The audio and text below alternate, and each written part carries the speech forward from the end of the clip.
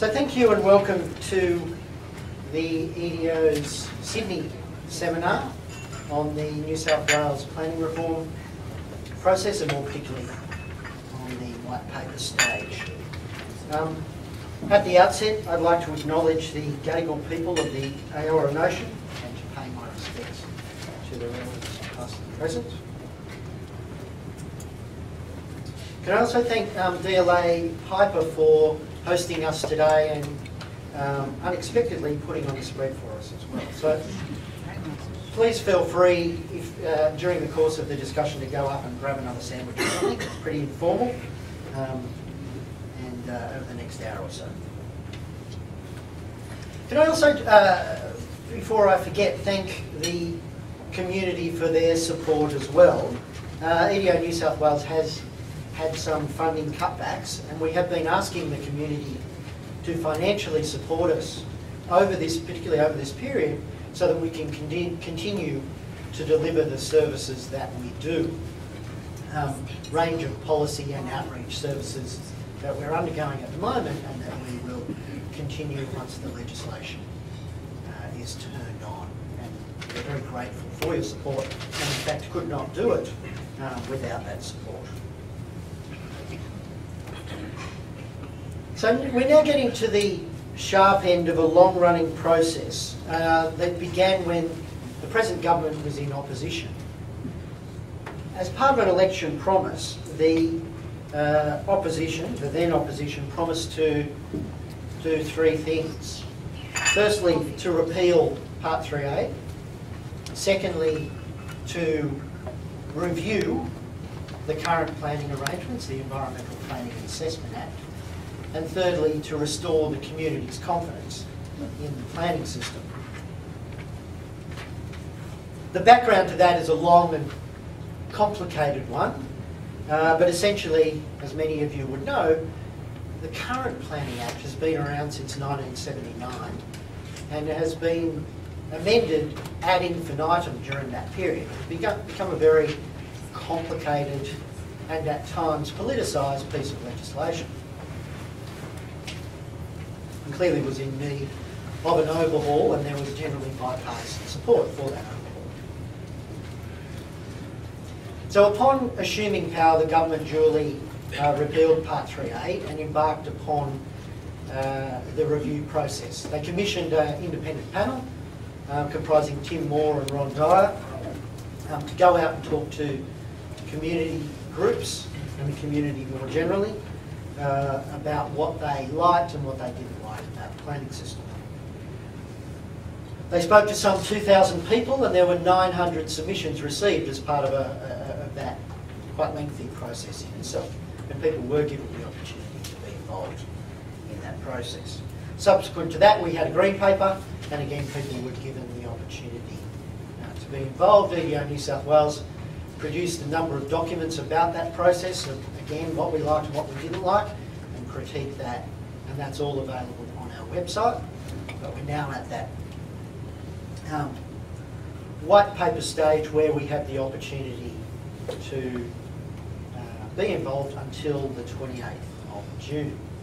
And the policy team who are doing the bulk of the presentation today will talk more about what having your say looks like.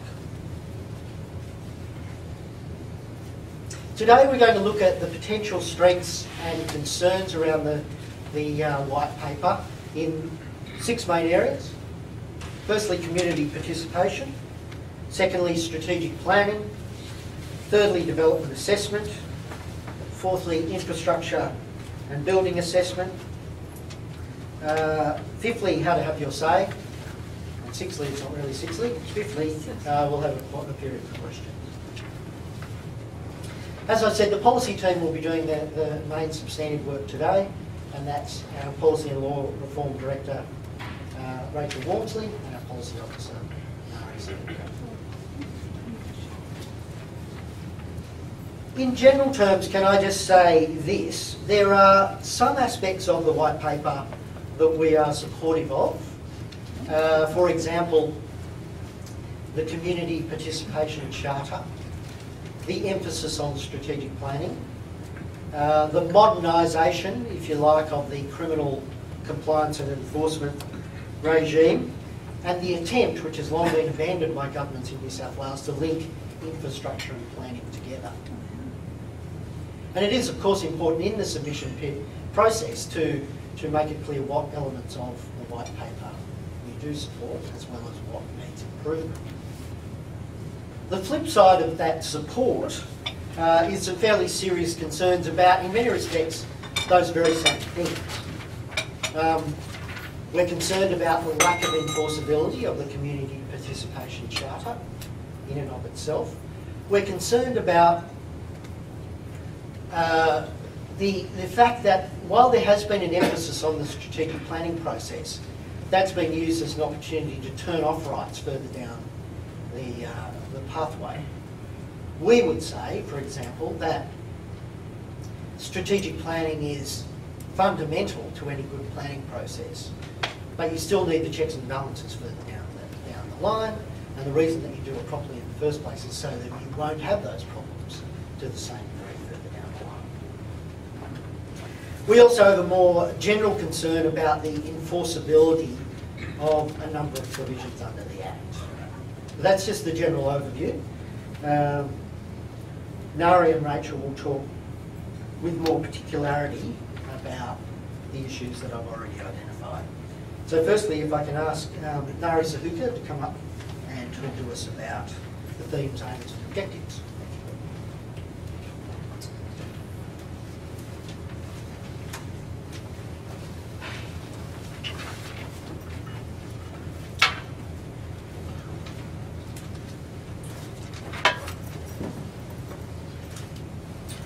Thank you very much, Jeff. And um, so we've got a bit of a seminar outline on the screen here. So uh, pretty much as, as Jeff uh, mentioned, uh, we'll go through some themes, aims and objectives, um, community participation, strategic planning, development assessment, a little bit on infrastructure and building assessment, and how to have your say. So themes, aims and objectives. Um, on the screen here, we've got um, a grab on the left-hand side from the white paper, so the five key elements of reform, and these are basically being carried over from the 2012 Green Paper. Uh, so the White Paper's priority elements are number one, a delivery culture, a shift from a perceived negative or restrictive planning culture to the delivery of positive and pragmatic outcomes, including ongoing education and innovation and regular performance reporting. Secondly, community participation, involving people in the preparation of plans and the vision for their local areas up front, including the ground rules for local areas. So this is about early engagement rather than site-by-site -site consultation in most cases. Thirdly, strategic planning focus, so a major shift to evidence-based whole-of-government strategic planning in the development of plans, community and stakeholder engagement and decision-making. Fourth, streamlined development assessment and approval, with a five-track assessment system which makes greater use of code complying development and online tools and removes layers of assessment, including some interagency approvals and concurrences. Fifth, the provision of infrastructure, so planning for infrastructure at the same time as planning for housing and jobs, including new growth infrastructure plans and simplified local and regional infrastructure contributions. And I guess a sixth theme um, in the white paper that wasn't uh, featured in the green paper is on building regulation and certification. So to ensure better quality of construction and fire protection over the life of buildings. Uh, but in that theme, we don't see any specific proposals, for example, to update the BASIX building sustainability tool um, or the standards for water, water and energy efficiency, uh, which haven't been updated since 2006. Um, on the right hand of the slide, we've also got uh, some of EDO New South Wales' best practice planning um, themes or principles. I won't go through these now, but the presentation will be available on our website if you have a look at further. So briefly, uh, a quick overview of the structure of the white paper if you haven't seen it yet. Um, uh, pretty much reflects the structure of the green paper with the addition of those um, building regulation um, chapters um, and an extra section on enforcement. Uh, we've also noted the two exposure draft legislation uh, or bills there. So the Planning Bill 2013, which contains most of the substance, and then the Planning Administration Bill uh, with some of the um, uh, more administrative matters. So aims and objectives. The white paper key objective um, of the planning system is, to quote, is to promote and enable economic growth and positive development for the benefit of the entire community while protecting the environment and enhancing people's way of life. It is about enabling development that is sustainable. Turning to the draft legislation, it includes nine objects, and many of these are similar to the current Act, but there's a clear economic emphasis, including relating to things like timely delivery and efficient assessment. So, for example, the first of the nine objects listed in the planning bill is to promote economic growth and environmental and social well-being through sustainable development. The bill goes on to say sustainable development is achieved by the integration of economic, environmental and social considerations, having regard to present and future needs in decision making about planning and development. So, some potential strengths and weaknesses as we see them. In terms of strengths, the new objects broadly incorporate two important principles, the integration of what you might call triple bottom line considerations and intergenerational equity, or at least the reference to present and future needs. And a general environmental protection object has also been retained, although slightly less specific than the current object. But on the other hand, EDO New South Wales and others have consistently emphasised ecologically sustainable development and its five core principles at the apex of the planning system. The white paper in the bill set up a much weaker definition of sustainable development that will remove three important ESD principles from the planning system. Number one, the precautionary principle to be applied where there's an uncertain risk of serious or irreversible environmental damage. Two, the conservation of biodiversity and ecological integrity as a fundamental consideration in decision making. And three, the polluter pays principle, so better environmental costing and paying for environmental degradation, pollution and waste. While there is an economic emphasis to the objects, the bill doesn't include an overarching object as such, leaving decision makers with considerable discretion as in the system now. Also, the broad commitments to environmental and social considerations are not emphasised in the body of the Act itself in the way that economic factors are, and we'll go through that in the other areas of um, the white paper shortly. Overall, the new narrow definition of sustainable development is a significant step backwards for environmental protection in decision making under the new system. We believe a 21st century planning system needs to prioritise and implement ecologically sustainable development and its principles, not a watered down concept of integrated decision making. So I'll now invite Rachel up to talk about community participation.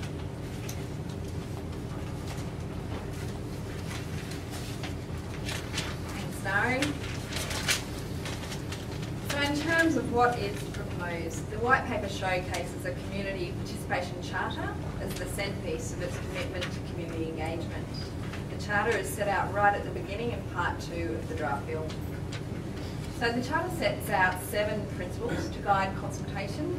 These include right to be informed, access to understandable information, that the community is to be provided with opportunities to participate in strategic planning as soon as possible before decisions are made. Consultation is to be proportionate to impact and open and transparent decision making. So the Charter is to be given practical effect via community participation plans. These are going to be prepared by each planning authority, so the body that makes decisions on strategic plans and development applications, so councils, regional panels and so forth, in consultation with the community. The planning department will also prepare community participation guidelines to assist planning authorities such as the Planning Assessment Commission, regional planning panels, sub-regional planning boards and local councils to develop their plans. The emphasis is very clearly on community participation upfront at the strategic planning stage. The key legislative requirement in the bill relates to proposed minimum exhibition periods. In terms of potential strengths and concerns around community participation. Uh, the recognition of the role of the community in a charter that is in the legislation is very important. The key role of the community in strategic planning is recognised and we welcome that. The mandatory minimum exhibition periods are in the legislation and they've even taken note of some detail that was in a lot of community submissions, for example, please do not exhibit things over Christmas. So that, that that's nice. However, we have some concerns, notably how the charter will be enforced. Many of the concrete details to implement the charter have been left to the development of future community participation plans and guides. The draft legislation reveals that the charter will be difficult, if not impossible, to enforce, as community participation plans will not be mandatory and the community will not be able to challenge plans and some decisions, including legal errors. As the government has noted, community engagement, ownership and acceptance of the new planning system is essential. The white paper states, once the community has participated in development of the strategic plan for an area, planning authorities can streamline most development assessment without the need to further consult with communities unless the proposal significantly departs from standards in the local plan. So if you miss the boat and don't realise until a development is going up next door, it will probably be too late for you to engage. However, there are significant capacity issues around ensuring that you don't miss that boat. The White Paper Vision hopes to engage general members of the public in a series of consultation processes on state plans, regional plans, sub-regional plans, local plans, possibly infrastructure plans, and also on detailed code development. All of this is absolutely essential for the community to have a say up front on future development in their local area. Some of these processes will be concurrent, some are underway already, and require the community to digest and respond to a lot of information. If this approach proceeds, significant time, additional resourcing, expertise, oversight, review and appeal rights will be absolutely essential. Other concerns that we have include, for example, the definition of community in the bill includes industry. This is logical in the sense that industry and business are part of the broad community and everyone should be involved in, at the strategic stage. However, in the experience